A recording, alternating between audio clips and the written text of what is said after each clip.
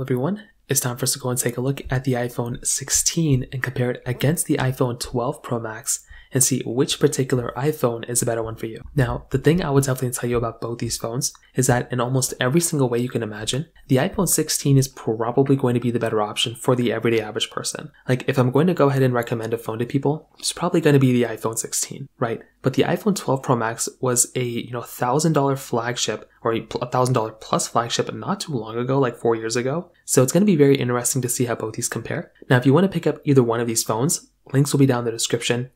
You can get them from there and you can help support the channel at the exact same time. Now, starting off with the outside of both these particular devices, the iPhone 12 Pro Max, which came out back in 2020, on the front side of this particular device is giving you a you know very very large 6.7 inch Super Retina XDR display. Now a panel like this in my personal opinion looks very good and it's a very sharp panel as well. Like if you're going to go through and like pick up a phone, these types of panels and these types of phones are pretty much going to look good for a long duration of time. Now they don't get the brightest and they're basically stuck at 60 hertz, but they're good panels and you know I, I, do think they were nice right? You're getting the notch up top. It's a big size phone as well. And this was one of the bigger selling points of this phone was the size right? You know these types of phones that are that are the biggest are apple's you know most expensive devices.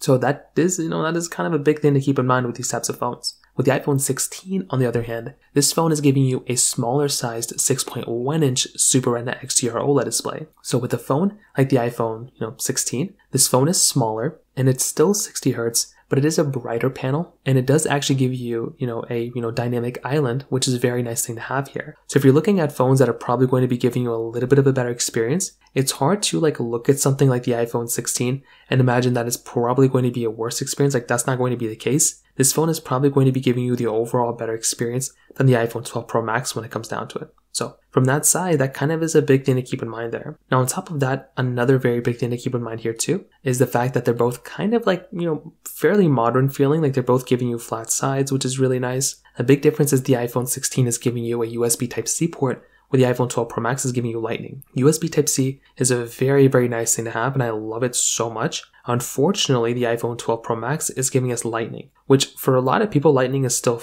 good and it's still fine. But if you're trying to go through, like I said before, and get the phone for the best quality and everything, you know, the iPhone 16 with that USB Type C port is probably going to be giving you the overall better experience. Now, on top of that, another big thing to keep in mind here too is that they're both giving you frosted glass backs. So this is in and of itself another really nice thing going on for both these phones as well. Like once again, if you're wanting the phone that's probably going to be giving you the overall better feeling, you know, both are going to be at least giving you frosted glass backs, which again is a very nice thing to have here. Now on top of those things, you're basically still maintaining things like a dual camera setup on the 16, triple camera setup on the 12 Pro Max, MagSafe capability on the back of both of them, wireless charging and IP certification on both as well. So there is still a lot of good stuff going on for these types of phones, which is really nice. But as always, it's interesting, the 12 Pro Max probably feels more premium, but the iPhone 16 probably is the one that has more functional features on the outside, like the dynamic island and USB Type-C. Now on top of that, from you know the price tag standpoint, the iPhone 16 is basically costing $799 in the brand new market, whereas with something like the iPhone 12 Pro Max, you can only really buy it in the used market right now. So if you are wanting a phone that's probably going to be giving you the overall better experience here, with something like the iPhone 12 Pro Max, it is going to be a cheaper phone overall than something like the iPhone 16. So, you know, this is probably one of those bigger things to keep in mind here too. But as always, it's not the but as always, it's not the biggest deal in the world. If you're going to go through and use either one of these phones, like, you know, from a price tag standpoint, it might be worth it to spend more money for something like an iPhone, you know, 16 than the 12 Pro Max. Now, when it comes down to the whole entire camera capability here, like I said before, the iPhone 16 is basically giving you that dual camera setup, so a wide and an ultra wide camera. With the iPhone 12 Pro Max, is giving you basically just a dual, it's giving you a 12 triple camera setup, a wide, ultra wide, and telephoto camera. Now, both can give you 4K 60 on the front and the back, but a very big thing to keep in mind here is that the iPhone, you know, 12 Pro Max, although it is giving you that, you know, triple camera setup and you have that dedicated telephoto lens, basically that telephoto lens is only giving you 2.5x zoom, where the iPhone 16 zooming in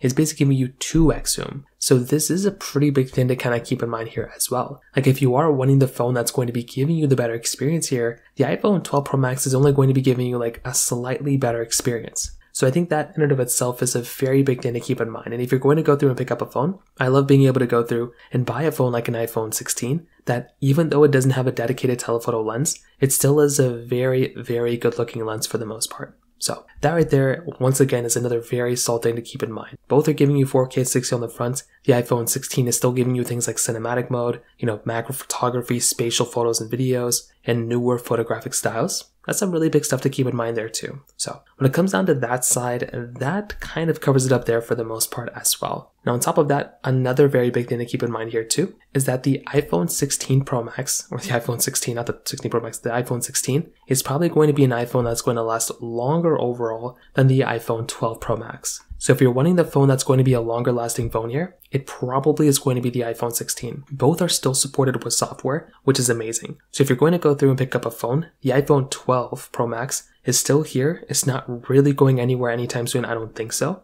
So that is a really nice thing. You can basically go buy a phone like an iPhone, you know, 12 Pro Max and still get a phone that's still going to be supported with software, which is nice. But if you are wanting the phone that's going to be a longer lasting phone here, it probably is going to be the iPhone 16 almost in every single way you can imagine. So that right there is a very big thing, right? I like something like the iPhone, you know, 12 Pro Max from that particular perspective. And I like the iPhone 16 a lot because of that too. So once again, kind of keep that in mind. But if you're going to want the longer lasting phone, it's probably going to be the iPhone, you know, it's going to be the iPhone 16. From a battery life perspective, another big thing going on here too is that the iPhone, you know, 12 Pro Max was rated to give you 20 hours of video playback, where the iPhone 16 is giving you 22 hours of video playback as well. So that right there is a very big thing too. Like if you're wanting the phone that's going to be giving you the overall better performing device, in some ways it's probably going to be the iPhone 12. So in most ways it's probably going to be the iPhone 16, not the iPhone 12. So that right there's another very big thing to keep in mind here too. And when I'm looking at these types of devices, I love these types of phones for giving us this type of capability. From a performance side, these phones are slightly a little bit different as well. So the iPhone 12 Pro Max was giving you that Apple A14 Bionic chip, where the iPhone 16 is giving you that Apple A18 chip. So this right there, once again,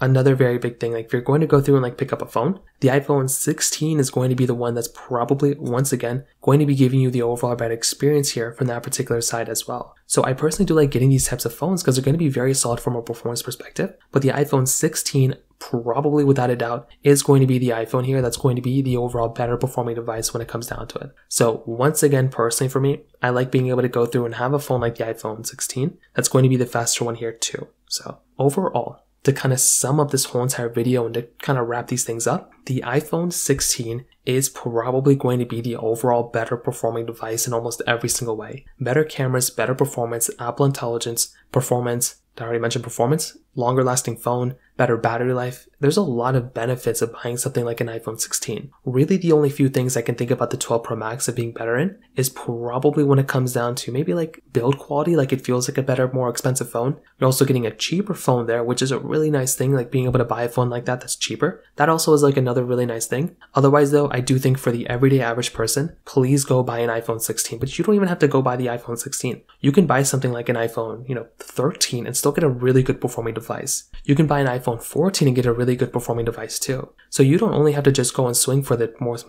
most expensive phone, you can get the cheaper one too and still get a very good performing device when it comes down to it as well. So overall, that kind of covers it up here for the most part. If you have any other thoughts or questions, please let me know in the comment section below. Hit the like button, that will mean so much, but definitely hit that subscribe button. More importantly than everything else, I love every single one of you guys. Hopefully I'll catch you guys in the next video. Peace out till then.